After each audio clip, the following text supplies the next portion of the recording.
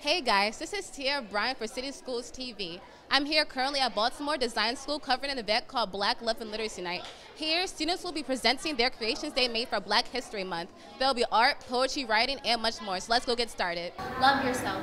Shine bright. Your voice is a resurgence of our abducted ancestors. It's a community event. This is literacy, this is art, this is fashion, this is black love. And so why not celebrate it together while we can? My culture is like something that's very important to me. It's good to hear other people's voices or to hear other students' voices, especially because of like such a broad topic like black love. Black love means being different. It means being open, being unique. Understanding who you are on a deep level. Just loving your skin color and love loving who you are for yourself. Who we are as a nation, who we are as a people. I think about the struggle, want for diversity, two, just to make sure that they own who they are because of our history in America. A lot of our students lack identity, and so for them to be in a space where they're being celebrated and their skin is being celebrated, I mean, who they are in the different shades are being celebrated, I think it's super dope. So what can we expect to see as far as the fashion event? You can expect to see highlighted, logoed, friendly, um, designed eyewear. His imperfections were as angelic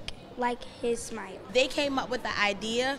We went through, we researched and brainstormed different phrases from different people that are important to the black community. It's a big way to represent our culture and how we express ourselves. Because I think that it's very important for the students to learn about black love and also learn about the importance of literacy and adding it into the curriculum of black love.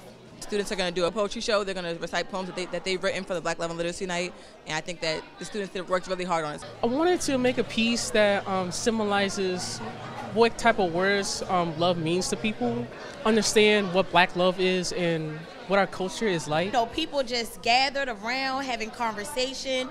It's really nice to have something that's like mixing worlds together just to show how powerful black love can be. Black love isn't love just for black people. Black love is the love for your culture, it's the love for your race, and the love for your roots. That was an amazing event. It's fascinating to see students and staff collaborate as they share their creative projects. Baltimore breeds creative people, so it's important to attend events like these to celebrate students' potential as up and coming artists. This has been Tia Bryan for City Schools TV. Be sure to keep up with us on Facebook, Instagram, YouTube, and Twitter. See you guys next time.